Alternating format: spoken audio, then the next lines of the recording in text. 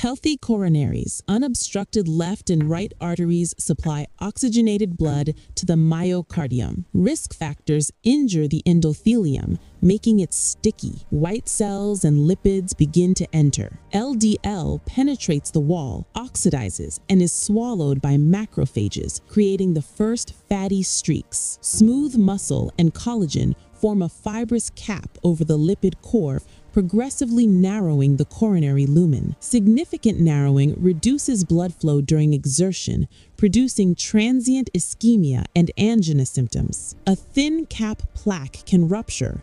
A clot forms and rapidly blocks the artery, causing myocardial infarction. Restoring flow can save tissue, but may injure microvessels. Over time, dead muscle is replaced by non-contractile scar. Untreated or large infarcts lead to remodeling, heart dilation, reduced pump function, and arrhythmias. Diagnosis combines ECG and biomarkers with imaging, stress tests, CT angiography, and invasive coronary angiography. Treatment ranges from medicines to stents or bypass. Prevention focuses on risk factor control and lifestyle.